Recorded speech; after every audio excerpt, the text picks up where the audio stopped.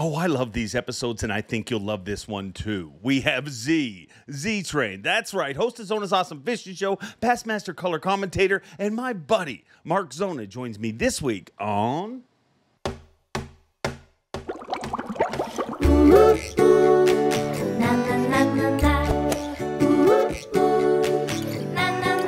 I'm Bob Cobb from the Bassmaster. Welcome to Mercer. Well, here we go again. This is your reminder that yes, it is Wednesday again, and yes, this show is back in your life. Welcome, one, welcome all. Friends, family, freeloaders, fishing freaks, you're all welcome here at the Awkwardly Honest Fishing Podcast that goes by my last name, which is Mercer. I hope you're all having a great week. And I don't know if it's just me, but the summer is freaking flying past. Uh, this hard to believe this will be our last podcast in July. I mean, next week's podcast will be August, and it, literally, it's just like how come? How come February seems to just last forever, but July is like gone? But I hope you're all having a great summer. Hope you're taking advantage of some of the great weather. Hope the weather's great where you are. Some people are actually having their summer, which is actually winter, which that is all of my friends who live in the deep south, and uh, it is sweltering hot there right now and um, uncomfortable. So they kind of are living the same existence. We live in the middle of the winter, uh, which is indoors. So wherever you're watching, I thank you for that. Some of those southern friends of mine are going to get a bit of repeat, re- reprieve from all of that this week. Why? Well, because the Bassmaster Elite Series is back in your life as well. I um, as you're watching this, if you're watching it on Wednesday, I am currently on my way or already in Detroit, Michigan for the seventh stop of the Bassmaster Elite Series on Lake St. Clair. I hope to see a bunch of you there. It's um, it's going to be a fun last three events. I mean, you look at that Angler of the Year race you look at the rookie of the year race. I mean, it. it uh, who knows who's going to win Progressive Bassmaster Angler of the Year or Dakota Lithium Rookie of the Year?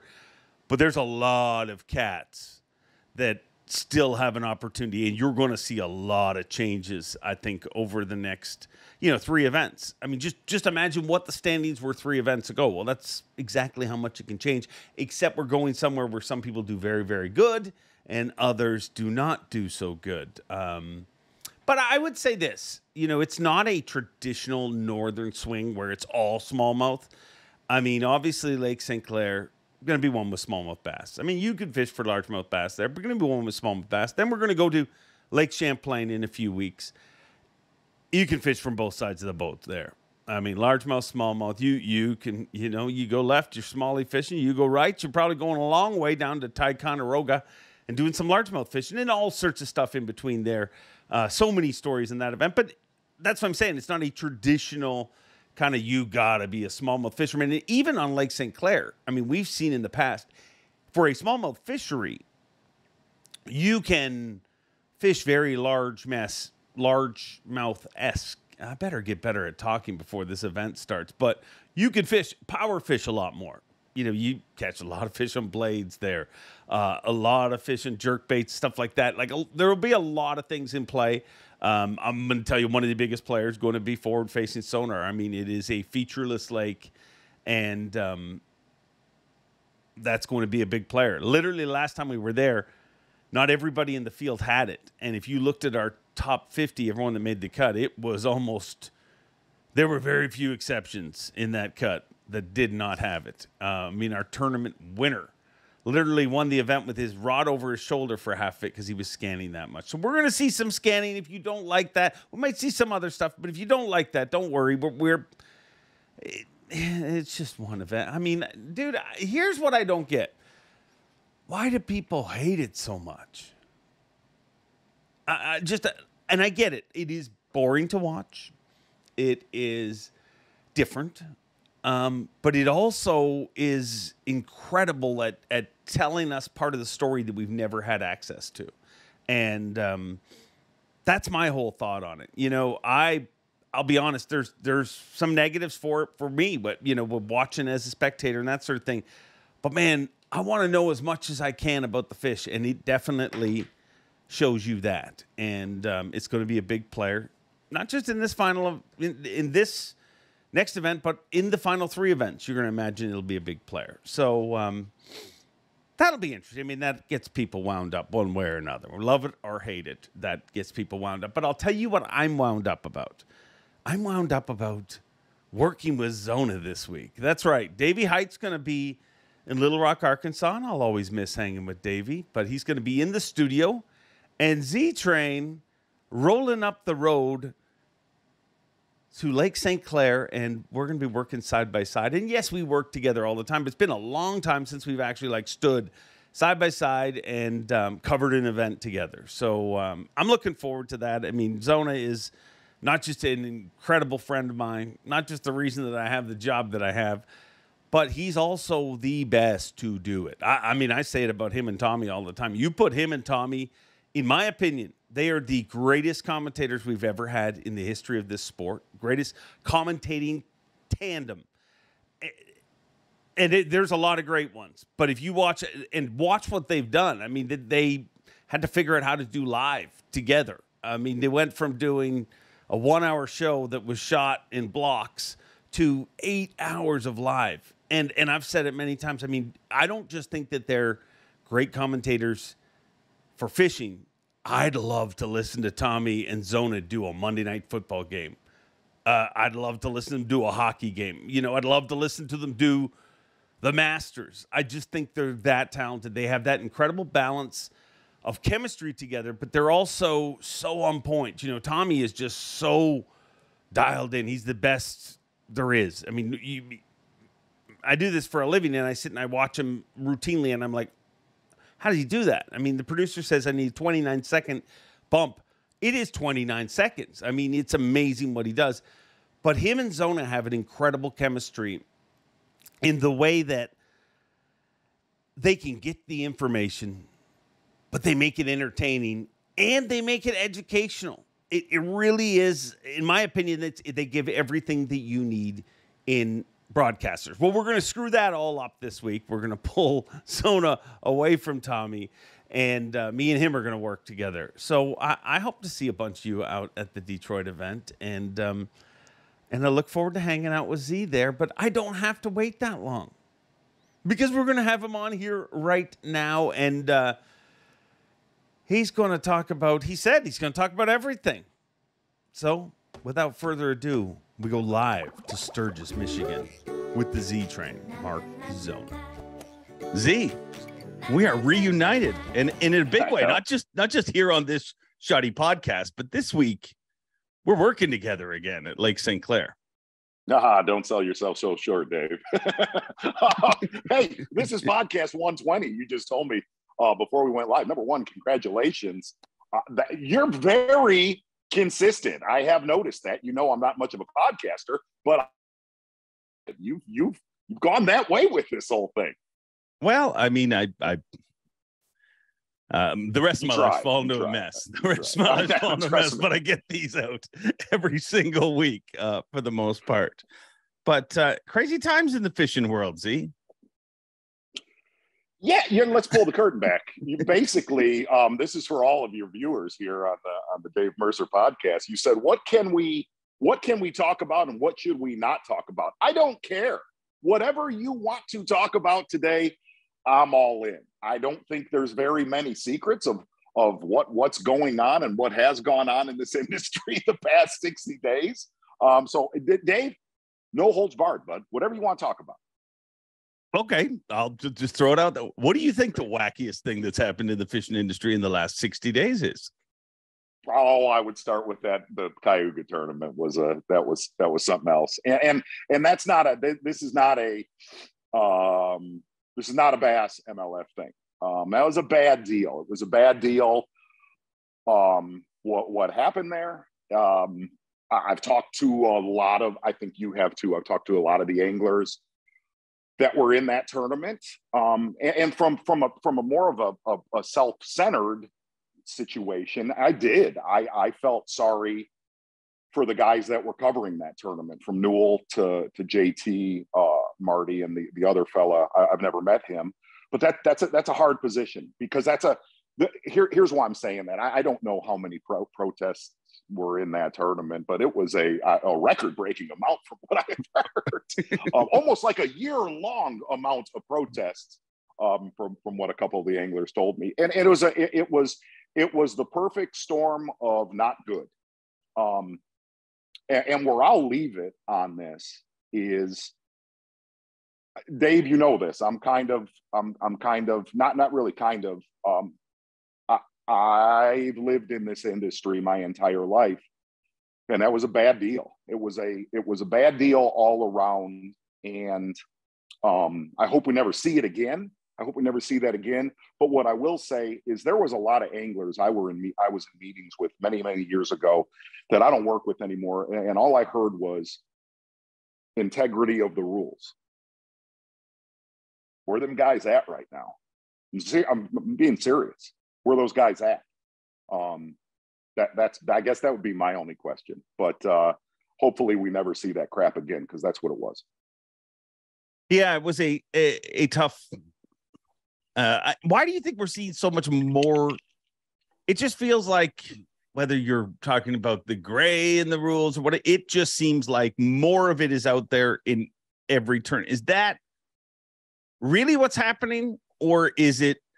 And I'm not just talking about K- Cayuga. I'm talking about all of the stuff that have dominated chat boards, social media, podcasts for the last few months. Why are we seeing so much more of that? Is that because people I have? I don't. I don't know. I don't know. Maybe. Maybe. Maybe people are able to get away with it. Um, I, I don't. I, I can't answer that. I don't. Why do we see more of that? I don't know. Maybe because you can do it. you know what I mean? there was there was one dude DQ'd in that tournament. I'm sorry, Mercer. You know that I I I watch every second of coverage of everything, even when I'm not working. Yeah. I watch all of our stuff. Um, I don't know. Maybe uh, I, I, have always said this though. I, have always said, and look, dude, I'm not a, an angel or a saint, but when it does come to this sport, I care about this thing. Um, I had a really I had a really big time angler during the departure, during the split, say, you don't, you don't, you're not a professional angler. You don't deserve to have an opinion on this. And I kind of, okay, but yet hang on, it is my job, right? It's like, this is, this is how I take care of my family. And when this situation happened, that angler asked me my opinion. I said, well, you told me four years ago I didn't deserve an opinion. And I said, just so you know, you were wrong then and you're wrong now. Because all of us, fans, all of us that work in this, the anglers that fish in this, everybody that follows this deserves to have an opinion when something's not right, when something's wrong.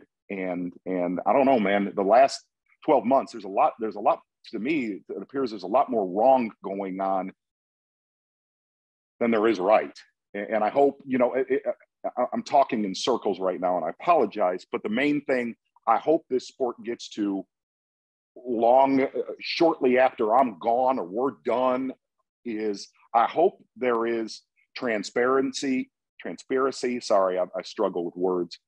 Is I hope I hope there is when there is an infraction that it is crystal clear to the anglers, it is crystal, crystal clear to the fans. Look, man, every sport that's a sport, you know when there is an infraction of why and what the recourse was. I, I hope our sport can get to that because I'm really not sure to this day why it's not. I have no idea. I don't understand that. Um, that's where I sit on that. I hope one day we can get to the point where everybody knows why and how things are handled when it comes. Look, man, pe- people break rules in every single sport. Your favorite sport, my favorite sport, NFL outside of bass fishing, at least you know why there's a suspension or why there's a 15 yard penalty. There's no, well, uh, we penalize that person. We're not going to get into why. I, I, I, hope one day it gets to that. I, I, really do. So there you go on that it's very How do you weird. feel? How do you feel? Well, about that that which you topic you talked specifically about it not being public, I, that has always driven me crazy. And I've, you know, I I do the the call show that me and Panger do together every week. We haven't done it for the last few weeks, but we'll be back soon before you know it, once he's done fishing. Um, but we actually did a thing where I'm like, everything needs to be crystal clear. Whether, and I don't care if you didn't wear your life jacket near a dam and self-reported yourself in pre-fishing, you've got 30 minutes in the penalty box. Or if you failed a polygraph eh, from every level, I think that it should be I, and I I'm just like you. Like when people say to me, why why doesn't that happen in fishing? I, I have no answer. I have really no answer why we don't hear more about it, other than the fact that what makes fishing different than anything else, whether it's bass or MLF, is the league, is also the TV production, is also the you know what I mean. It, it's in the NFL. You've got Fox reporting, you've got the networks reporting, and you have the NFL doing their job it's all under one umbrella in fishing, and it has to be because I mean, just be honest, Fox isn't going to start producing fishing. but but and really, obviously, there's been a lot of division the last three or four years. But no matter what, at the end of the day, at the end of the day, even whether love each other, hate each other, we're, we're still in this. We're still in this together, no matter what. Um, from from the the BS with the walleye and the weights. Um, I heard more about that. I, yeah. I actually I heard more about that than anything that's ever happened in my career. Of of I mean, even before television 20 years ago, I still worked in this industry. I heard more about the walleye thing, and I think that gave a black eye just to fish competitive fishing as a whole. And the other side is somebody said to me, well, you know, somebody that fishes bass made a comment. They said, well, whatever happens outside of bass, it really doesn't affect us. And I and I call BS on that. I don't agree with that. I, I think I think all of it in a long, short term or long term affects us. Imagine, imagine we always talk about moving the sport, growing the sport, and and and that the, the most cliche used. But I'm being dead serious. I looked at that angler and I said, I said, imagine if you are a uh, a, a, CEO of marketing for a non-endemic company, and you looked at our sport right now, there's a lot of things that are fairly laughable, really, like Caddyshack level stuff, where you're like, I'm not touching this with with a 10 foot pole. Um, I, that's where I do think we all get hurt um, in, in, the long run as a whole. Um, so I hope I, I, do. I hope things get a, a little little less wild west uh, outlaw crap, and and we can kind of get back to to to this being a professional sport, which to me, at least to me, um, that that's what I've all, always thought it was. So, yeah, I mean that's a great point. You think about it, you know, and, and you, I think for people that when people say, well, if it's not happening at Bass or if it's not happening where I'm particularly fishing, doesn't affect us that's just the ostrich approach to life. You're just burying your head in the sand and saying, well, they're not talking about us. Well, they are because when you go to said CEO, like you said, from a company that has nothing to do with fishing, that we all want to be involved in fishing, a gas company, a whatever company it is, a major company, the first thing they think of when they think of competitive fishing, if they don't think of it, the second they table competitive fishing to their marketing department, somebody's going to say, what? Like like those walleye guys that were all over the like absolutely you're absolutely right and, and, hey look the other the other side of this and i mean what i'm going to say to you right now. I mean this. There are a lot of my friends that fit that fish mlf a. Lot of them close friends like like damn near family to me. Um i, I want to see them successful. I want to see them happy. Um, that that's that's been a been a um, a stretch lately. Um, hell, most of them are on my show and and have been on my show. And dude, I don't I don't wish failure and and loss of of of salaries and and and just I, I don't wish that upon anybody. And I, I do. I I hope everything kind of gets just stable and and and back to normal some way shape or form soon sooner rather than later I, I do mean that how does it get better transparency and and you lay the hammer Yeah. Lay the hammer down. You lay the freaking hammer down. Um, I, I, I mean this. What I'm gonna say, Dave, and I've, I've thought about it. I've tried to put myself in JT spot or or Newell. Um, I, you know me. You know me. I'd have got up and walked out. I'd have said, "Screw this. I ain't doing this. I'm not just not doing this." You know me. I would have done that. Yeah. Um, I, I I may have texted one of them. I'm like, God bless you right now, dude. Um, I I, I that sucks. That sucks. And I just as a whole, dude, I'm proud of this this industry. I know your your your viewers. We bleed this, man. And I, I'm not a I'm not a, a forum guy, but the but the folks that are on forums, they bleed this. They care so much Yeah. they they care there, there's so much passion um and and i i have that you have that um and it bothers me man it just it bothers me when when there there's not legitimacy or or it, it just does it does it i wasn't even involved in that and it pissed me off um just because you don't want to see that happen in in what we do and what and what we love and again, that's not, I'm not doing this as a, this is not a slam. It is not that. I, I, I want everything um, to be on the up and up, period. How did to bring it back to Bass because it's not a slam, and I don't even know if you you can or wish to. How did you deal with the Poche situation? Because that was all. I mean, I I dealt with it the way I dealt with it on stage, very publicly. Um, He wanted to, he wanted to talk to, to a little bit with, you know, I'm so, so when an angler's in, to pull the curtain back for, for the viewers, when an angler's in the top 10 or the top six, whatever we've got as far as cameras going to the next day, I make my television. Look, my, my job, my job, I am not Lisa Talmadge. I am not Trip Weldon. I, I stay in my own lane at work.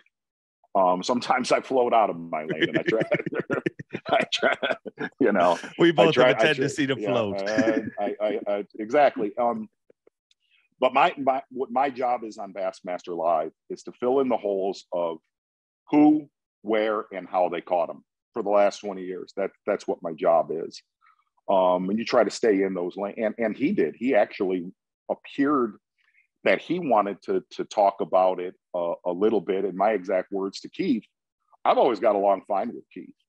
Um, Keith never r- really did that well his first go around at Bass, so I I didn't have to deal with them that much. Um, but every time that that I did have to have communication with Keith Poche, it was always um, on the up and up, very professional, and would give me the information that I that I needed to pass on to the viewer. How you catching them? Where you catching them? What you know? Tell me what I can use and what I can't. And and when I called Keith, I said, "Hey, look, obviously, I haven't talked to you in a long time, um, but all I want to talk to you about is fishing. I don't want to talk about any crap." Um, and and again, yeah, uh, look, Keith Poche started doing real good in tournaments when when he and look, Keith would admit this. Keith pushes Keith pushes the limits and pushes the envelope of of that that gray line. And and and he does. He he professes that everything he does is on the up and up. Um, my only problem. This is my only problem with jumping land.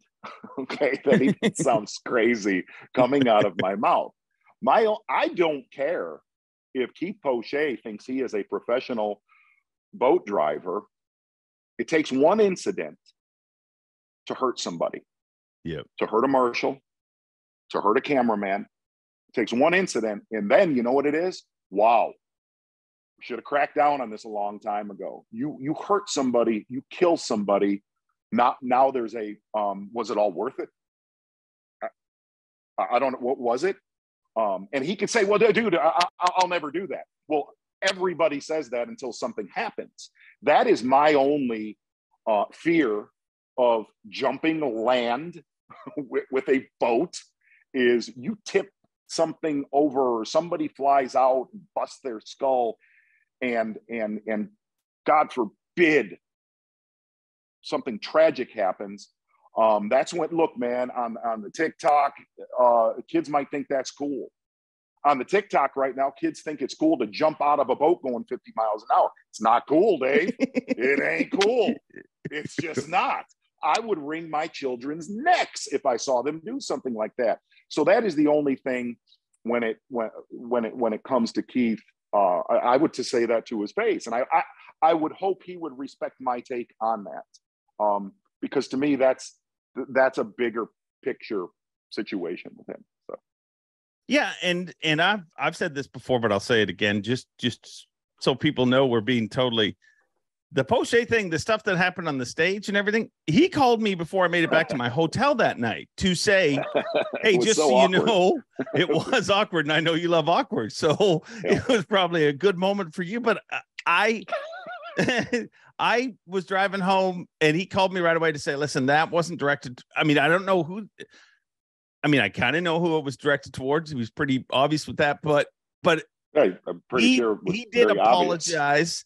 for for what he did to put me in that situation. So my relationship with Keith has always been pretty decent anyway. Like we've never had a, a falling out or anything like that. I have nothing against him. I actually think the whole aluminum boat thing is cool. I think the whole, but but where I kind of draw the line is, I think, and I'd love to know your opinion of this we as a sport have to be responsible for some of the things that happen, meaning that maybe Keith will never get injured doing that his whole life. But maybe. I know what I did when I was a kid. When I seen pros do stuff, I did the same thing when I was a kid. And kids are hey, going man, to see that Dave, and that, want to do that, that. That's on every topic that we've just talked about. Yeah. And I said I said this to one of the biggest anglers in the history of fish I said, um, I is this is this what we're showing? Obviously, high school and college fishing is very, very big right now. Is this what we're showing um, high school and college kids that this is this is the way to act on the water in a tournament? Really, Dave? Really? Come on, man. Come on. And, and, and some of the crap that has gone on the last two years. I mean, Hackney was here this weekend. I said, dude, you do that stuff at a Wednesday night tournament in St. Joe County, Michigan, you are getting your ass kicked. You are at a weigh-in if you if you cross the line on on stuff like that. So we're going to see that at the at the highest level of fishing. No, that's bad. That's not. And and and if somebody right now is disagreeing with me, you obviously have not fished tournaments the last 30 years, locally, regionally, because it's not tolerated. It's not tolerated at the lowest level of fishing. Okay? So I, I don't know. I, I, I don't think it should ever be tolerated at the highest levels to make a statement to the young kids that are coming up. Uh, you probably better not act like that in tournaments. what do you to play devil's advocate what do you say to the people that say if you're not playing in the gray if you're not pushing the limits you're not trying hard enough? I mean not just in our sport but oh, in other sports there's people that say that. I'm gonna bring up names that they don't come near the gray. They don't come near the gray dude that have been some of the best anglers in, in the history of fishing. Um, they just don't. You could bring up so many different names um, I, I don't know. I'm I'm going to start swearing right now. I'll get so pissed off at this, but uh, I, I, will. I, I, I um, there there are so many anglers that have made incredible careers never going near the gray. There's two grays, Dave. There's the unintentional. Oh, I didn't have my kill switch on. Oh, I I accidentally went on a body of water uh, during and off limits. I had no idea. I turned myself in. There's one side of the gray. Then there's a competitive advantage gray. And you're seeing way more of a competitive advantage gray, at least I'm seeing more than I've ever seen in my entire career, where it's intentional to get a competitive competitive advantage next to from the guy next to you. Um, and and the other thing that I will say is is there are there's straight shooters, man. There are straight shooters that right now you just feel sorry for. You do. You just feel sorry for them. You, trying to do it the right way when you know there's shifty things going on. Um, that that's a hollow that you want to talk about something that make you stay up at night. It would be if if I fished for a living, um, I, I that I would struggle with that the most. Do you ever regret not fishing for a living? I mean, you fish for a living, but, but I mean, you were a very competitive tournament angler. There's no doubt in me. We're going to St. Clair this week. If you're in the elite field tomorrow, a genie lands and says, Mark Zona is fishing this elite. Dude, I'm picking you in fantasy fishing. That's how competitive I think you are as an angler. Do you ever regret stepping away from the competition side of it? Oh, no, in, in, in no because here's what's strange is, in in in 20 something years there was only one tournament where i was like dang it i wish i was in that tournament. And it was a it was a tournament in buffalo. Um you heck you you've grown up fishing buffalo. It's i think it was like that was the only only one where i was on the water. I'm like dang it man i'd catch him in this one right now. Um um but but no and, and the other thing is is you to me you can't have it you can't have it both ways. We just saw jody white jody white's a good kid man. He's a he's a good kid that I, I sent jody a message. I don't know jody you know I, I jody's done this a long time. And i remember so i'm going to rewind time real quick. And the message that i sent jody was i, I said um and number one hats off to him. He did a great job winning that tournament. He took down a dude he's a, he took down a monster okay yeah but but the other side of it is, Dave, when I started this, uh, you and I've talked about this. I fished an open on Champlain my very first year when I worked with Kumar on Loudmouth Bass. Remember that? that was the time. uh, I, actually, I texted Kumar a couple weeks ago. I'm bouncing all over right now. I was like, boy, what a time to bring Loudmouth Bass back right now. so, so anyway, um, but I, I fished, I fished an open where I had a good tournament on Champlain and you get wrapped up in the moment of trying to win the tournament, which I was very close to winning that tournament. And it was really strange. I, I was I remember driving home and I called Karen and I said, This is my last tournament for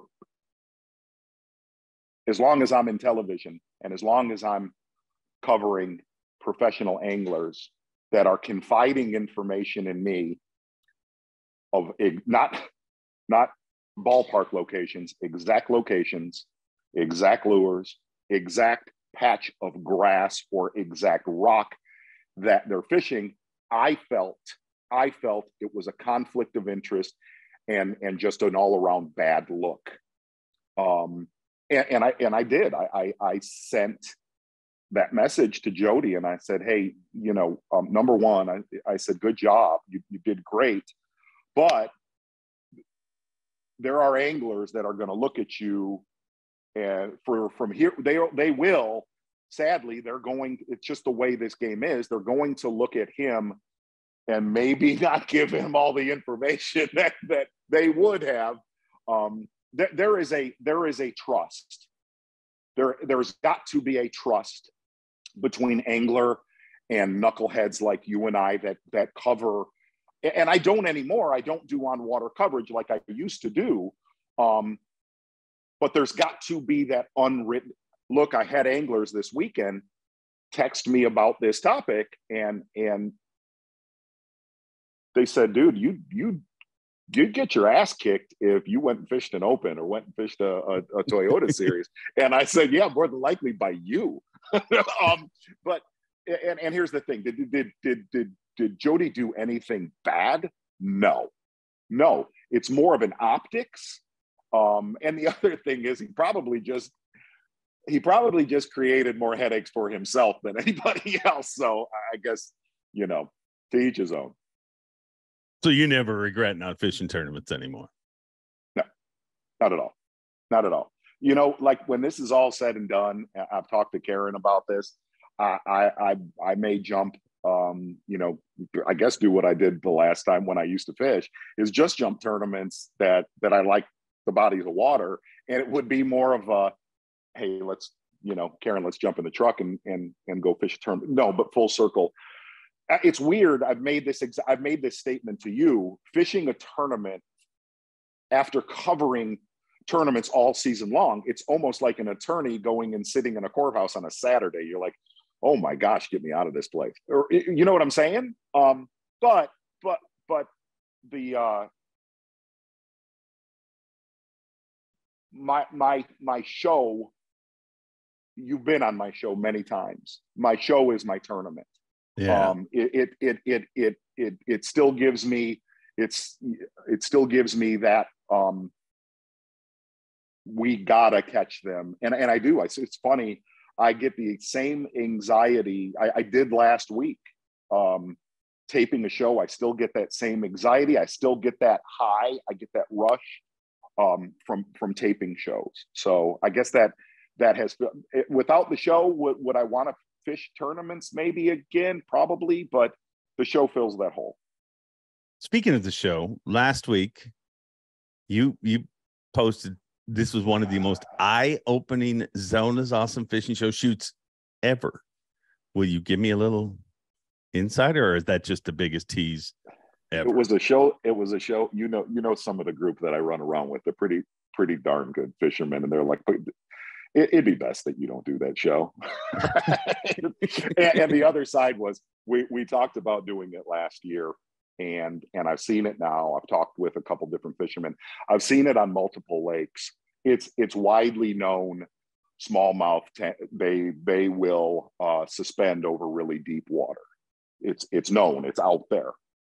Um, there there is a phenomenon which forward facing sonar Megalive has has shown me it's just not smallmouth. There is a massive, massive, if it's on the correct and I could go into this if it's on the correct type of lake.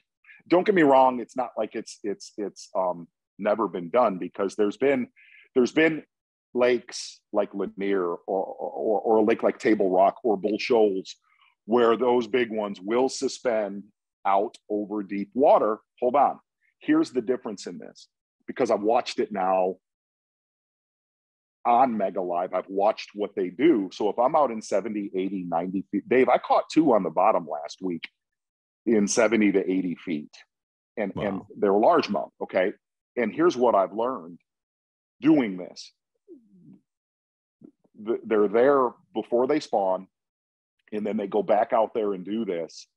But I watched them because the biggest question that I got, whether it was on um, when I posted that, or just by like Hackney was talking to me about it.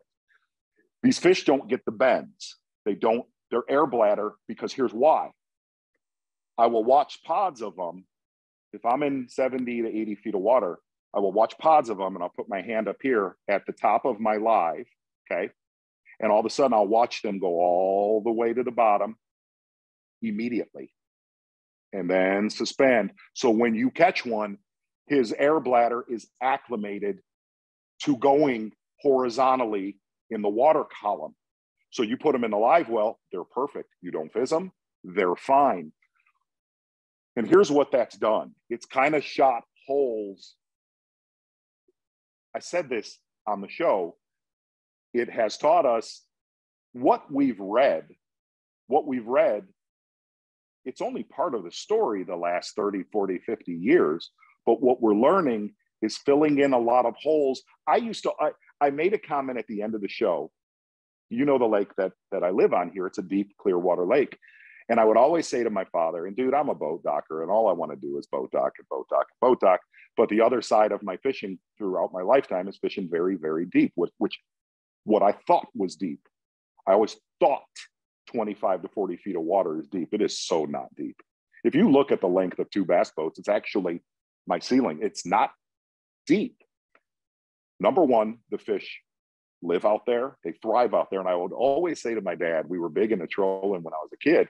And I would always point, I'd go, they're all out there in the middle of the lake. You don't know nothing, Mark. They're not in the middle of the lake. You know what? Yes, they were. they were there the whole time, Dave.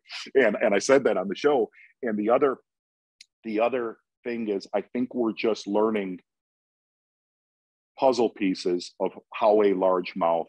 Don't get me wrong, this is not on every lake, but there are certain lakes that I've seen now. There's a connection of certain, you have to have certain variables, water clarity, forage, that they will use zero to 90 feet of water.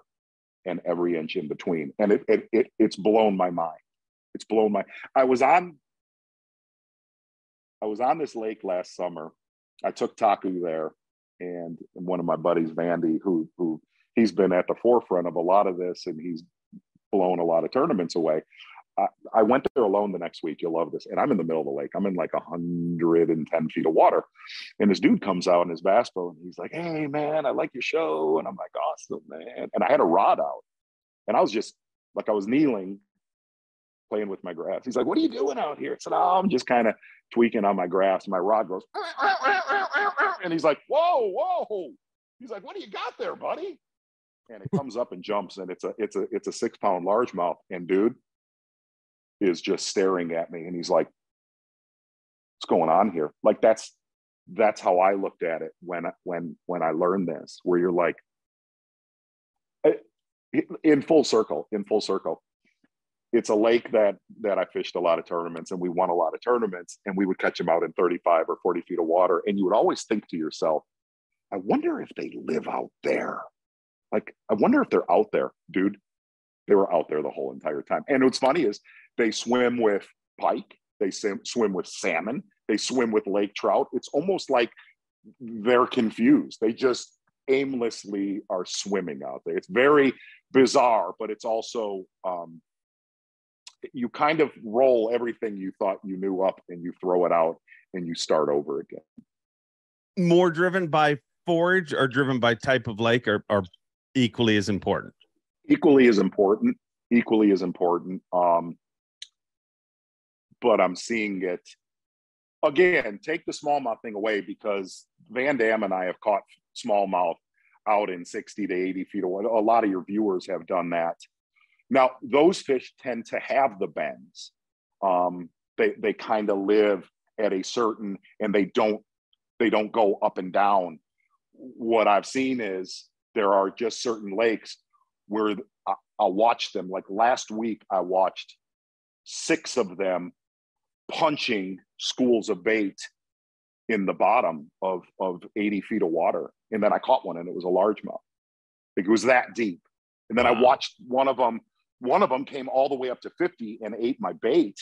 And I watched the other two go right to the bottom. And you're like, that's not everything I read. It's not supposed to work this way, but but it is. It is that way.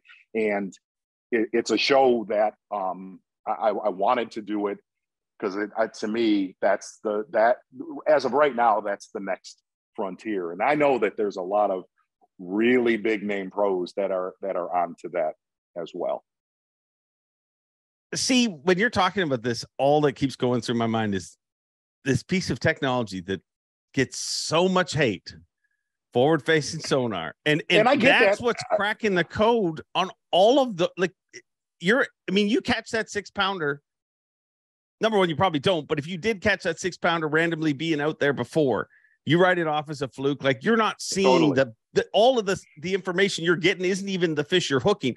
It's what those fish around it are doing. I Dave, I do. I I I do understand folks that hate it.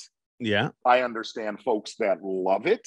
Um, forward facing sonar is a lot like your fantasy football team and my fantasy football team. Generally, the only person that enjoys it is the person doing it. Nobody else cares, dog. But, but what here, here's what I do. Uh, here's what I love about it. It is opening up things like I just talked about, um, where where where I am very addicted to it. Is I I like to see how a fish reacts or does not react to the techniques that I'm doing. Okay. I'm going to give you a for instance. Is I was catching a lot of fish la- last week on a, on a, on a jig head minnow. I was, I was catching them um, on a baby Z2, all of them, all of them. And I had tuned them up good. Okay. I, I had leaned on them and they started not reacting, whether they were suspended in 35, 45, 55, 65, over 80 or 90 feet of water. And and at about noon, they were done with me. They were not into what I was doing anymore, but we had a show in the can, and I, now I wanted to mess with them. I'll never forget this. I took I took a Neko rig worm, and it was in 79 feet. And generally, generally, the, the, the loners, the rogues are the biggest ones. Okay. And I, I plinked this out and I had it on a quarter ounce tungsten head and I watched it. It's going down, going down, going down.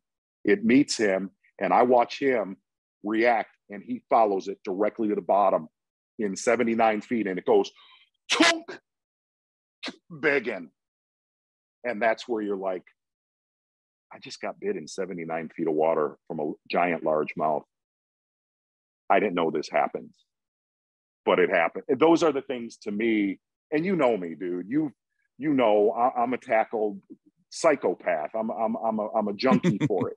Um like it, it's literally what i was working on before this podcast. Right when we're done that's exactly what i'm going to do. Um, even though I'm not fishing for like 10 days because of the elites, it's all I do is work on stuff.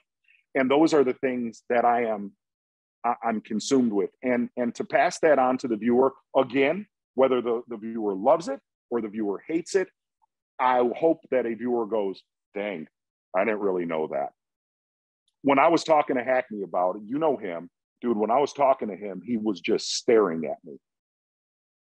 And that's when you know he didn't know that. He he he had never, you know what I mean? Um, and that's what forward facing sonar has done. It's kind of um, it's kind of really taught us we're not as good and we're not as smart as we think we are with bass. As a competitor, do you think? I mean, I get what, and I agree with you. Like the whole, I hate. It's not near as entertaining to watch for us. You know, watching the tournament, I I find it in some ways not as entertaining because somebody's just focused on that. But I also feel there's a weird time in tournament. Like for tournament anglers, I almost feel a little bit sorry for them eh, in the way that like you got people who are all about that, and then you got it's like there's that dude who's got his foot on the dock and his foot on the boat. You got a bunch of tournament anglers who that never works out good. The boat's going to pull away, and and I feel like it's hard for them to figure out what you just figured out because I mean, Lake St. Clair, they're out there pre-fishing right now. You got two and a half, three days to pre-fish, two and a half really to pre-fish. Or do you have time to go and be in the middle of Huron and do what you're talking about? No, I mean, yeah, but no, no. Um, you got to, you know, with only two and a half days, unless you're a local with you know if you if you have some Chad Pipkens experience um, to you know and you have proximity to where you know before cutoff you could go out and really experiment. The problem is those fish were not in that zone yet or, or those those those wicked outer zones. Um, you kind of got to go with the way that tournaments look obviously the mlf was there you know a couple weeks ago. You almost use that you know not almost you do. You use that as the template of what's going to happen um, on St. Clair, you know, in the next couple days. You use that as the template. There's obviously there's some X factors for this tournament that probably have changed since two or three weeks ago. The North Shore of Erie or the or the St. Clair River, um, th- those should be a little bit bigger factors. But no, as an angler, you kind of have to go, especially with two and a half days. You have to go with the more of the safer play uh, for this tournament. All right, I want to talk to you about something completely different. It seems like the fishing world is on a quest to make up new names for fish and bass and techniques and all sorts of things. Social media has definitely made that. But one of the most hollow names I think you came up with, which is Slaunch. And, and I mean, it's such a name that that there's companies who use Slaunch in their bait names, different names. But tell, can you tell me the history of Slaunch and how that came to be a thing? Slaunch, uh, Slaunch was named after a very, very large man. Dave, you and I are big guys. We're big guys. but I need you to. I'm going to try to paint this picture for you. And and and this gentleman has passed, but he was a very close friend of mine. And and I was fishing a night tournament, and he he used to let me paint the picture for you. He would he would smoke heaters more than more than Seth Feider. I, he makes Seth Feider look like a child when it comes to some marb lights. Okay, cut off. Hold on, let me paint it. Cut off flannel shirt, hair greased back, Fonzie style, yet orange, long. And one day I was out there and I was looking at him, and, and God bless him, he was such a good friend of mine. And Chad Grigsby was in the boat, and he's like, "Man, he's like Bob's looking, Bob's Bob is flowing tonight. He, he's kind of looks, you know." And and and I looked at him and I said, "Dude, he's a full blown slouch." And Chad looked at Chad Grigsby looked at me, goes, "Bullseye," and, and he accepted the name. And we had a song for him, um, everything, everything, and I remember catching a bass uh, on my show, and I, uh, years and years. I told Ben Milliken this story because he has had products named Slaunch. I said, "Can I tell you what Slaunch comes from, just so you know to respect the man behind the title?" And he's like, "That is one of the most kick-ass stories I've ever heard in my entire life." Um, but but uh, you know, Slaunch got up there in age, and, and we lost him uh, right before the pandemic. But uh, he fit the name. He owned the name and accepted it. Uh, and, and, and that is exactly where that came. All the other BS like Devil Kong, that Darva Conger. Darva Conger is a chick that was on um, To Marry a Millionaire. That was her actual name. But a big bass to me is a Darva Conger, man. What a great name. Um, somebody told me this is this is no joke, Dave. Somebody told me that knew her that they passed on the story that I have called Big Fish. anyway, there you go. What about Grebes? Where'd that come from? I, I can't stand them. Um, they have been a nemesis my entire life. The problem is any waterfall, anything with any winged animal to me is a grebe. Every single, I'm looking right now at Canadian geese. They're a close cousin to the grebe, which I don't think they actually are. Um, but a grebe has naturally just come, it's come natural to say grebe on anything when our cameramen, Jake Latondras, Brian Evie, when they're really bored in the back of the boat, they'll just get an aimless shot of waterfall for me uh, to run with grebe. But you can't, you can't use it, you know, excessively. You need to do use it in, in the right, um, you know, it, can't be a, a, a very critical moment where you just start yelling grebes out. You just can't do that. Uh, but what's funny is I'll be in the boat with I'll be in the boat with some of my my knucklehead hardcore fishing dudes and and the, with them too. Any any bird creature is a grebe now. there you go. It makes people really mad. Like it, it, it yeah. it's weird because you know being at the events, I'll we'll be playing live on the jumbotron and and yeah. I'll be off talking to somebody and some guy will come up and he's like you got to talk to Zona. You got you got you got to call Zona. It, he just called a Luna grebe. It's not a, it's a loon or it's a northern it mer. It's a whatever. You tell that guy it all fits, dude. It's live TV. Nothing is is reality anyway. It doesn't matter. I remember the one time we were having a really slow event, and I do. I try to stay in game. I, I don't remember what tournament it was, but it was it, it was a grind. It was it was it was grimy. It was really grimy and I don't know where my head went, but it was during, I think it was during the pandemic. And I said, Tommy, you've got to get killed by one of these Michael Myers, Freddy Krueger, or Jason uh, from Halloween. And it was funny. Like he never missed a beat.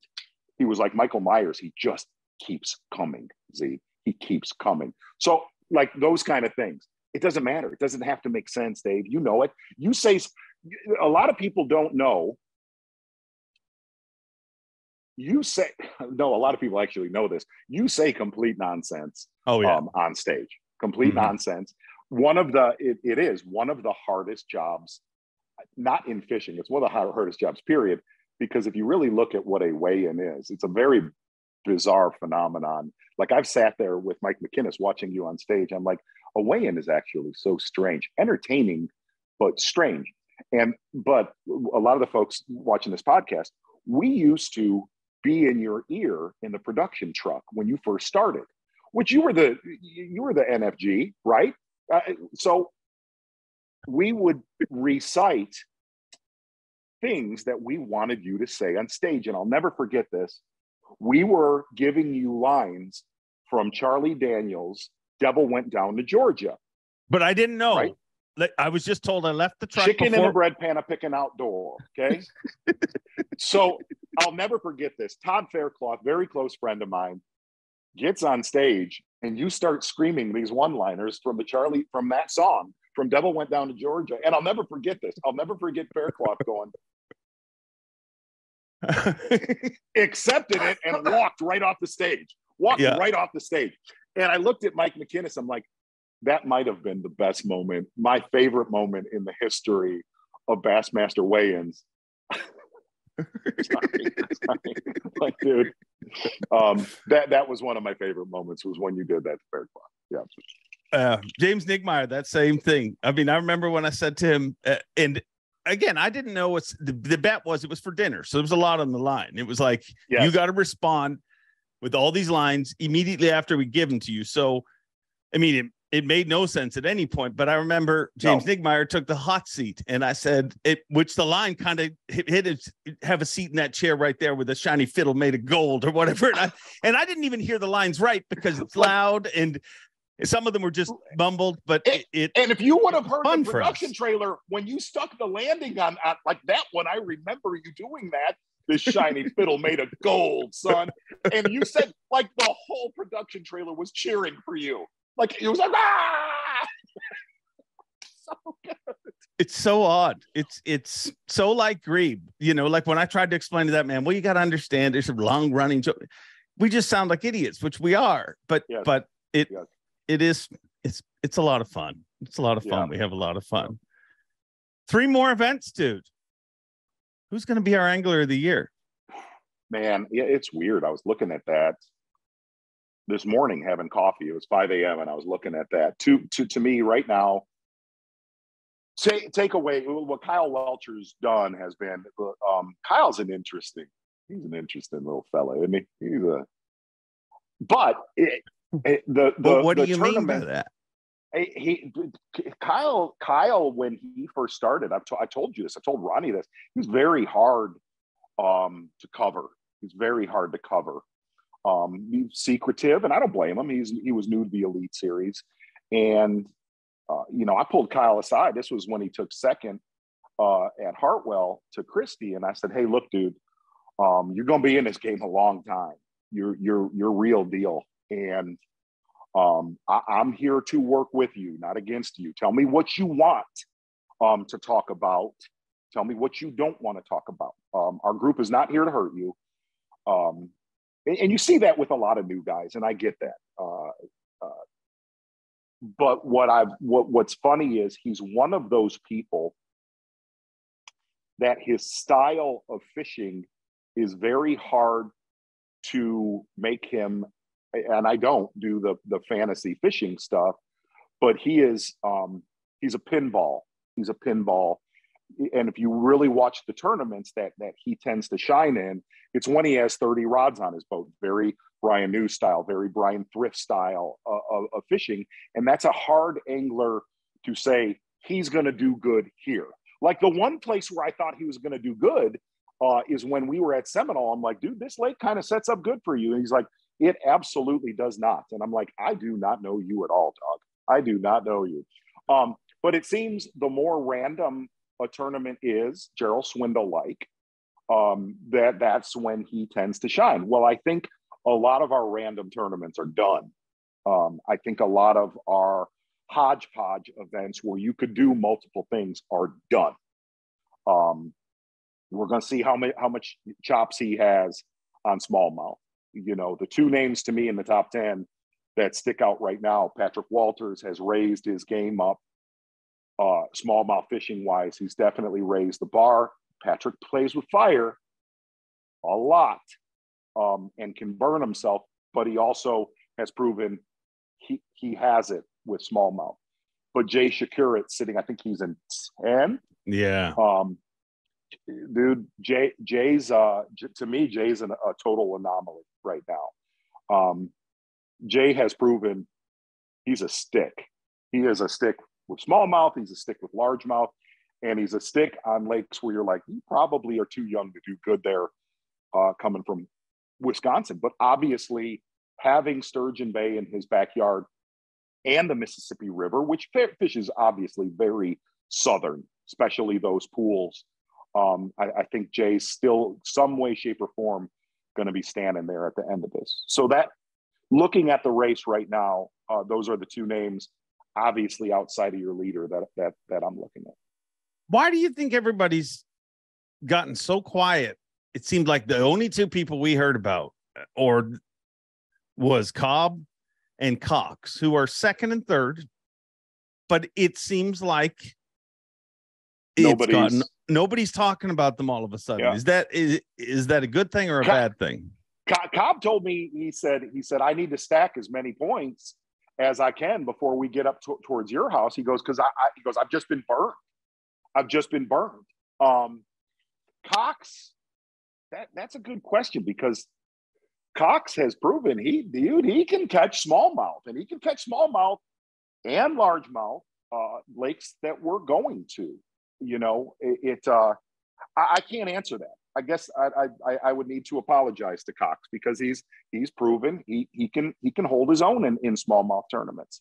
Um, I, I do look at that that last one is um, I think there's going to be some massive, massive runs in that tournament, which also lend themselves to a possible mechanical issue, which is always, it seems always at the end of the year in our, you know, this when when we have a Great Lakes event, that mechanical issue is all always tends to um, be that little underlying storyline for that final tournament, and I think we're going to definitely see that because I think we're we're going to see runs in that tournament that we have not seen before ever. Why so? What why do you think you'll see runs? I mean, we are same spot last year. What why will the runs be more this year? I think pressure is like we're, them. we're yeah, I think here here's what what I've seen. This is not what I've been told, those fish are not, Dave, they were dumb as a box. My first Zona show, I think I taped a Thousand Islands. Those fish were so stupid. Um, they're not anymore. They're not. Um, the deep ones are not dumb. The shallow ones are not dumb. Um, and it seems from what I got to see, the further you ran, the dumber they got. Uh, and the bigger that they were, you know, the bigger they were don't get me wrong, you could still get, uh, it seems like that mouth, obviously, that mouth of the St. Lawrence um, just has a different caliber bass in it. Um, but they they're not dumb anymore. And I think you're going to end up seeing, I think you're going to see some wicked, which I think that's cool as could be. I, I always love, I love that factor in the tournament just because I grew up doing that um, here. So the big risk. And yeah, it, will be interesting too, because if you look at I mean, if we go into it with points similar to what we have now, then it's going to be that whole like, uh, do the leaders stay conservative? Because in my history, watching that race go down, the second you try to be real conservative is the second they get you. you like it, absolutely. Like before takeoff, it seems like wow, that really smart. You know, he's controlling himself. But like 15 minutes in the tournament, you're just like, it didn't. It, and you can yeah, catch them and still get really hurt in that event too. We we have learned um the, the I can name certain anglers that that have had leads going into the final tournament or really close to the lead that are I'm gonna play it safe. I'm gonna just try to catch me 18 to 19 pounds, and you get lapped by three or four people. And it seems um, it's very it's very it's very much our our final events tend to be a, a little bit like a major golf event where you see the guys that are fourth, fifth, sixth really gambling, and the guys maybe above them playing it a little bit safer. And I think that's what makes the end of the year awesome on the Elite Series because it it it tends to lend itself to guys that gamble. You know, the one person I, I, I really give credit to is, and I still call BS, but when like Palaniuk said, I, I don't look at points. Um, but Palaniuk knows, knew, he knows where he's at in a points race. Palaniuk is one of those anglers that tends to never lend himself to playing things safe in very, very critical moments. We've seen Icon, Iaconelli do that in years past to, to just throw caution to the wind. Aaron was a perfect example of never, um, really never playing it safe when it came to, to the final event or events of the season. Um, and, and, and, and again, it tends to lend itself to the person that's going to hold that trophy. You really think Palaniuk is full of crap and he does and he, and he looks at me a break. Come on, I, I honestly believe him. I, I I love Brandon, but I got news, dude. He two things. I think Brandon is one of the best professionals in this sport right now. I really do. Um, when he first started, it's weird. He would tell me things, and I know he, you were very close to him. And I've told you this. There was some of the, when he started where I was like, he's, he's full of BS, man. Give me a break. Um, I did. I did. I totally told you that. I think at one time I, I told you I thought he was overrated. I nailed uh-huh. that. We had a big I, argument. I really, he won Angler totally of the Year that year. That year, he won exactly. Angler of the Year. yeah, I, I, I, totally nutted that one. Yeah, nailed that one. Um, but Brandon, and what, what's what's been fun to watch with him is uh, when we talk about high school anglers and we talk about college anglers, dude, if you're a high school angler, you're a college angler, look at that guy. Yeah. Look at that guy on the water. Look at that guy off the water. Um, he, he, his moral compass is deadly spot on. I have a lot of respect for him. But uh, no, as far as the look, here's the thing: he may not look at the points, but I look, man.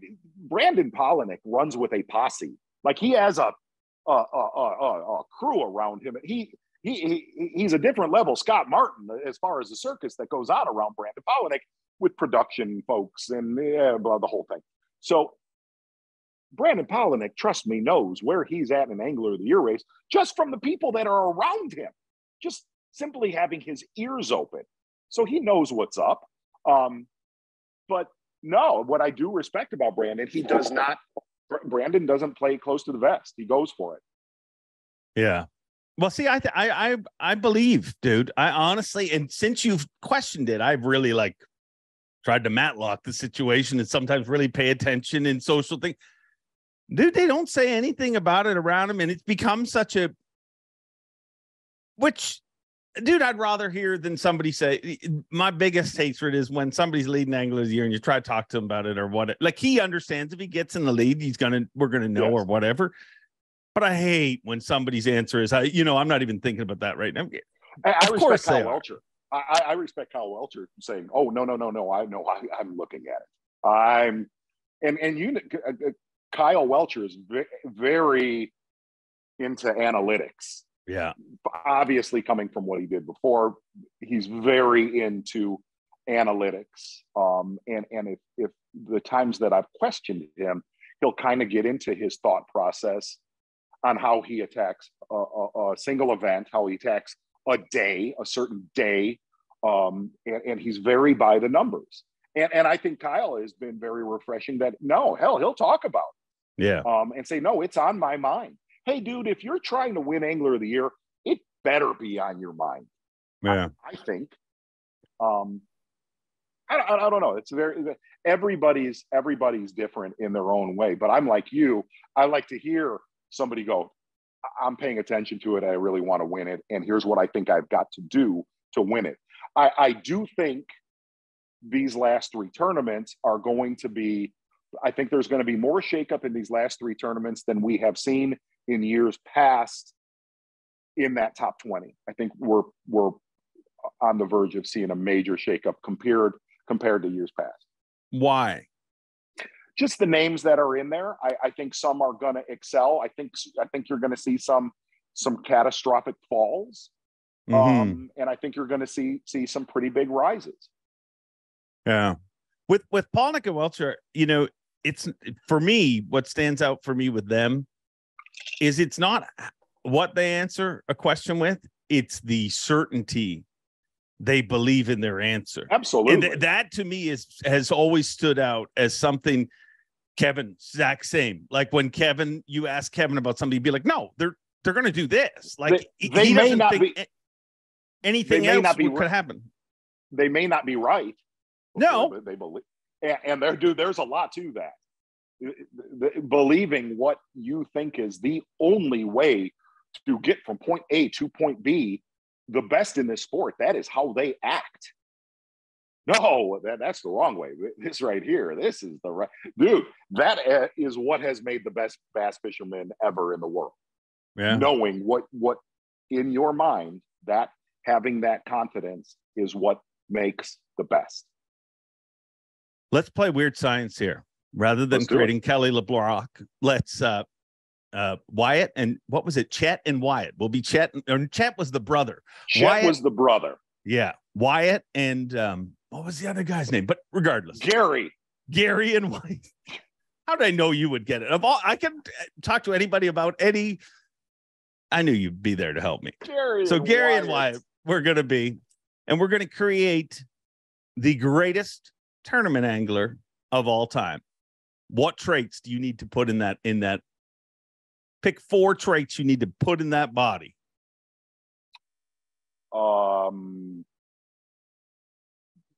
you have I'll start with what I think is the most important one, which is it's the one that we just talked about to have the most superior confidence compared to the guy next to you. We have seen that in the best that have ever played this, from from Rick Clunn to Kevin Van Dam to Aaron Martens to Greg Hackney's, um, Larry Nixon's. You have to have superior confidence, period. Um, the the other, to me, the other side uh, the next trait, uh, and I always looked at this and I was very envious just because I fished with him so much. I thought Aaron Martens was, is, and always will be the most versatile fisherman that I've ever covered. And that's no offense to, you know, a, a four-time classic winner or somebody that's won, you know, nine angler of the years. But I think Aaron was, he was equally deadly shallow with a flipping stick as he was in 45 feet of water with a drop shot. Um, the next trait, and this is more current, is to just be wicked with forward facing sonar. Um, I, I don't, I, I don't, I don't think you can, you can go. And, and here's the, and here's why I say that is I don't think these days and times you can go through an entire season without having to lean on that to excel in certain events where we're going in the next day you had better be darn good with that or you're fixing to get all your teeth kicked in um, those would be the three uh, to be to be tech savvy to be versatile and to be a rock because if you combine all of those right now you're a pretty good fisherman. yeah, you're gonna you're gonna do pretty good, Dave. Um, I think those are the three. What what do you think? I think that that to be very and uh, this word makes me sound drunk when I say it cerebral. You know, to be that like if you look at them all, and I always say the only one that stands out to me that has ever been a spaz, if you look at all the greats, Iaconelli, Iaconelli, Iaconelli's the only one. But I also think that if it, it works for him. It works for him. That's what gets him up. You know what I mean? And that's who he is. But but to, to be that Jay Sekurin, Jordan Lee, yeah. Brandon Palaniuk too. Very, you know what I mean? Like he yes. is able to stay. People like Flat me line. just. I mean, if I catch a five pounder at the beginning of the tournament, might be the worst thing ever happened to me because I'm like, I'm going to win this one. Just need four more five pounders, and I just a spaz. But that flatliner trait seems to be Absolutely. so important. Absolutely. And that's, you know, that's something that we obviously talked about through the years. Listen, man, Iaconelli, he does, he makes it work for him. But here's what I can tell you. And, and I, I don't even know that I've ever said this, but I've, I've fished with Mike a lot now, and, and he's been a guest on the show. Brian Evie, my, my, our cameraman on Bassmaster and Zona show, Brian Evie is a flatliner, correct? Yeah. He's a flatliner.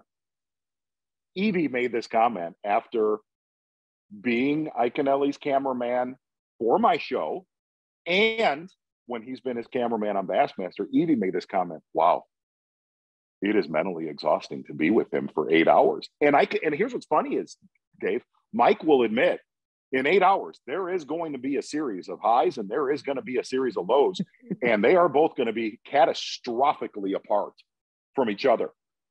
But they may actually, I mean, as far as the emotion that comes out, but this can all happen in a five minute span. I have seen it. Like I have seen him go from here, taping a Zona show, from here to here in a matter of two minutes.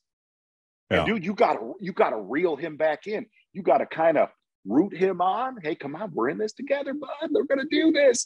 I know, like it's it's phenomenal. It, it he obviously makes for a great guest. Um, and and he, Mike is always he's been so fun to cover throughout all these years. Uh, and, and I do. I have a lot of respect because no matter what, he's a little bit like forward facing sonar. You either really, really love Mike or you really, really don't. Uh, but I do. I think I think Mike is um, throughout all all of this. Mike has been one of the best things ever, ever in, in the sport of bass fishing. I know he got voted uh, into the Hall of Fame, and you you talk about somebody that should walk right into the doors. I think Mike's Mike's one of those people. Yeah. With him being the exception to the rule, do you think if he was able to be a little more mellow, he would have accomplished more, or no? That the no, fire no, is what made him no. accomplish what he's accomplished. Dude, he's John McEnroe. He, yeah, he's he's he's John McEnroe. He's um it's hard to it, it's weird you know you and i've called him for years we called him happy gilmore dude at the end of the movie happy gilmore won um that uh, you know a a calm Iaconelli, it doesn't work. I don't think it works for him. He feeds off of he no matter what, he may not not agree with this. He feeds off of positive energy and he does feed off of negative energy. Um, as long as you know, it's funny before he came back to Bass, um, you could see he was not in a good place. You mm-hmm. could see he was not in a good place. And I called him, and I, I think the world of Mike. I, I do, and, and, and you know this, Mike and we, him and I, have had very very high highs, and we've had very very. Well, one of us going to hurt somebody, and I got news. I'm bigger than Mike. Okay, I'm, I'm bigger than Mike. I, I like my anyway. Um, I landed, I landed in Detroit one day and, and I called him. It was after an event that he's in. And, and I made the comment to him. Um, I said, Hey, be careful where you're at right now um, on camera. Um, cause Mike has a tendency, he can, he can, he can snap. And when he snaps, he is taking everybody with him in the ditch. And I told her, I, I said, dude, um, you and I are close. Just be careful right now and, and don't let you burn you you've done too much in this sport. Don't let you burn you um, just because your your your temper goes haywire. he goes, I really needed this phone call. I, I needed this, you know, and he knew exactly what I was saying. You know, um, it, it it's a it, it's just it's who he is. Uh, I've grown up with a lot of dudes like Mike Iaconelli on the south side of Chicago, and and, and they're they they are some they were were some of my closest friends. But just don't let that wick burn too short. Just keep. Dave, I have that problem every now and then. keep, keep, keep, keep, keep, keep the wheels tight on the axle. Yeah, yeah. All right. Well, so yeah. what? What's the future for you? What do you think? Because I, I don't know about you, but I find myself in that same weird, yeah, predicament. You know yeah. what I mean? Where where you just turned 50 i'm i'll be that later this year you know hard to freaking believe number one um but, but what's left for you to to do and accomplish or i i man i here here's what uh dude you and and myself it, has been has this has been a, a dream for for two idiots. And i i don't use that term loosely. I, I don't. Um, this has been a dream, but j- all the way back to the start of this podcast, um, I, I, I, I am and always will be fishing. The, the, the professional fishing industry is our life. It, it, it's our passion. It's what we care about. Um, but but with that being said, you know, I, have talked with you about this. I've talked to Mike McKinnis about this. M- my bigger, I think, no, not my bigger, but but you know where where I devote a lot of time now, and it takes a lot of time to do this. Is is I love doing my content, whether it's Zona Show or or or you know social and digital, and and my passion um, is being on the water and fishing, which, duh, give me a break. Um, but I, I, I still do, I still do have that passion to cover uh, professional fishing. What what that will look like a year from now, two years from now, um, if, if, I can, and I've, I've, told this to you, I, have always wanted to kind of get the reins a little bit more uh, on my own schedule, so so I can uh, uh, do everything correctly, or else I think something gives. Um, I would just say probably scaling back on certain things in the next two or three years, but still involved in it in some way, shape, or form. That's how I, I see it looking. So, yeah. Sounds like a plan to me. I mean, I don't uh, know. By the end of these three tournaments, I might get fired. Who knows? Who right? knows? it's been a long time since they let me and you. Like, dude, we're, we're literally like we work together all the time. But you're in a studio, and and yes. but I mean, we're going to be. You're Davy Hite's going to the studio this week, and me and you are standing side by side at Lake St. Clair. And I don't know how you feel about it, but I'm pretty freaking excited. I'm really looking forward to it. Really looking forward to it. For number one, I I I, I want to hang with the guys. I want to. There's a lot of anglers that I just want to, you know, even though we're covering the tournament, I, am 2,500 miles from them. Um, but going back to it, we used to go to every single tournament together, and um, you know, obviously through the pandemic and stuff, and doing this stuff from Jacob's bedroom upstairs. Um, I'm looking forward. so strange actually pull the curtain back. This is no joke. So when when when that all happened, and I told you this, I, I live on a party lake. You you know. Oh yeah. it is a party lake. Through the pandemic, so we would be doing Fox broadcasts upstairs, and the neighbors will have been playing beer pong and whatever it is those kids do all day with Hunter. And, anyway, like they would walk into the studio while we're live on Fox like, come on, dude, let's go. What time's commercial? And I'm like, get out of here. like there was multiple times on Fox where I would hit my mute button, start yelling at people that have just walked in off of the beach. Lord knows what they have been doing the last two hours, right? Um, but anyway, to to to um, I, I, I miss going to events, and I, am really really looking forward to uh, to hanging with everybody this week. It'll be a fun one. It'll be and it, it, it it'll it'll be a great tournament. So it'll be a good week. Be a good week, and uh, it's one I'm definitely looking forward to because you're right. I mean, if I could, one of the hardest things for me at this job was was when you guys stopped coming to events. Like you remember, I, but I remember I was yeah. like, "Well, so you guys are gonna be in the studio, and I'm not."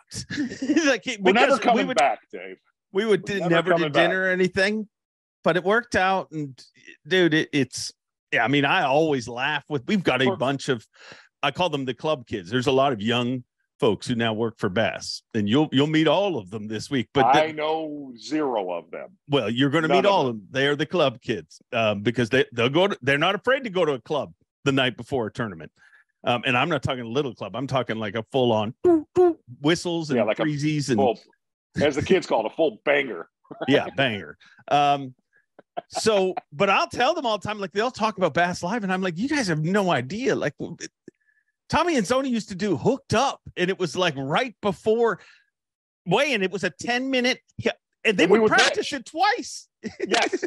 The, the, listen, there's two different things I want to say here, real quick. I, um, when we did not come to tournaments anymore, I remember Mike McKinnis calling, and he's like, I think Dave is really, really struggling with this that we don't come to tournaments anymore. And I was like, oh, the hell with him. He'll be fine. We don't need to go back.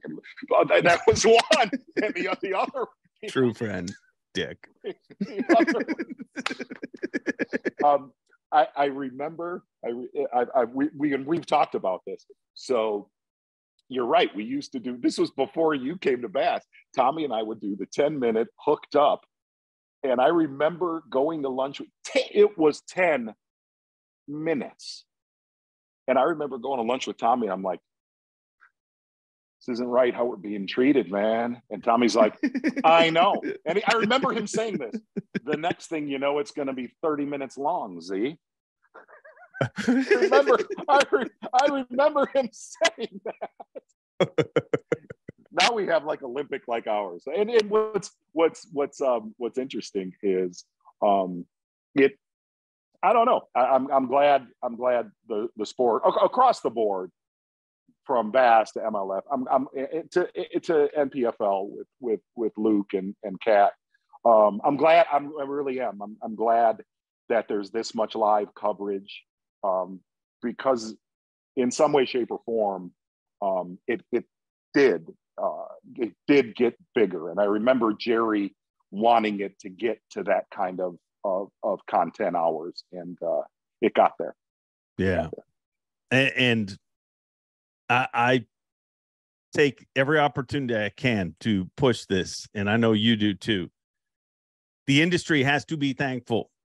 You mentioned Jerry McKinnis, and Jerry wanted it to be bigger, but the guy who drove it to be bigger is Mike McKinnis. That's the guy yes. who you, know what I mean. 100%. That kept pushing, kept saying, "We need to figure out a way to do." And I remember, dude, that first classic that we, I mean, that such a great way to launch things. Let's launch it at the Bassmaster Classic, the biggest event. But Horrible I remember idea. the night before us having dinner and being like, "Do you think it's really going to work?" And then the next thing I knew, you, you guys, you know, I was driving home from takeoff, and I remember freaking out because me and Carrie are like, I just saw a fish catch live. It's really it's working. It's working. And ever since it started working, it's been pretty crazy. But he My, but Mike McKinnis changed not fast, but the entire it. industry. Yes. Yes. And and it it it took bravery to do that uh-huh. because we all doubted things to him um, it, it took, but it also took, you know, really, it took superior confidence to do that. Uh, I didn't, I didn't, I didn't have that confidence. I'm like, this thing's going to set on fire tomorrow morning. Um, but you know, it's it's it's funny looking back on it now. Um, and there there is there's a lot of folks that are that are watching this podcast that you you don't know the name Mike McKinnis, but Mike McKinnis is why live across every platform is what it is. Uh, he is. He is. He has been. And and and it. it uh, gosh dang man, I have I have loved I have loved the the the ride with that dude. He he's been he's been not a good boss. He's been the best uh, to work with. An amazing crew, and uh, dude, I thank you for for making me part of it. Without you, uh, I did. I've never be part of this. So um, I love you, dude. Let's try not to get fired this weekend. We're gonna have a big time, Dave, and and, and I mean this. You've done awesome, and hey, seriously, congrats on 120. Congrats on 120. It's worked out fantastic. Well, thank you. I'll uh... love you, bud. I'll see you in a day. All right. Look forward to Mr. Paul's every night. it's so terrible. It's so terrible. I, Dave, don't get mad at what I'm going to say to you right now. Okay. The last time I did go to a tournament, it was St. Clair, uh-huh. and I would watch the weigh-in from Mr. Paul's. I know. Uh, I did, I, am glad to know you were there because I just thought you were watching them in your room. I thought you were in your no. hotel. I'm like, anytime Mr. No. Paul's, they make the Caesar salad right beside you. It's a nice place. I'll see you this week. I love you, bud. Love you too. I love that dude. And I love that conversation. I mean, it was literally the goal with this show is always to have a real and a honest conversation. And um, that was very real and very honest. And I hope you guys enjoyed it. Um, if you did, tune into Bass Live this week. There'll be a lot more of me and Z hammering on about whatever's going on on the body of water at the AFTCO Bassmaster Elite at Lake St. Clair. Stop number seven of the 2023 Bassmaster Elite Series. Who will win the Progressive Bassmaster Angler of the Year title? Who will win the Dakota Lithium Rookie of the Year? Well, all of these things will be answered in the next three events, but the first of those three is going down this Thursday to Sunday, and I hope to see you guys there. Oh, before I let you go, one other thing I got to talk to you about is the cull. Usually do the cull with Matt Pangarak, where you know we call it a sport fishing debate show. We debate different topics in the sport of fishing, and um, it has not been on the last three weeks, I believe. Usually post them every single Monday. The cull has not been called. Do not worry for all of those of you that me- messaged me. It will be back. Panger's just traveling all over the place fishing right now. And I've been doing a lot of that myself. And we just had a hard time connecting. So we will get those going here again very, very soon. It's not gone away. I promise they'll be back in your life. And and so will this show be back in your life next week. I guess it's the week after an Elite Series event. So we'll be back with Jake's take next week. And um, all sorts of goodness coming with this show. I can't uh, thank you guys enough for making this show what it is. And it seems to grow each and every week. And that's not because of me, that's all because of you guys. And I thank you for that. Have a great week. Enjoy being. And as always, Bob Cobb, take it away. Thanks for watching. Please like, comment, and subscribe because Bob Cobb of the Bassmasters told you to. You hear?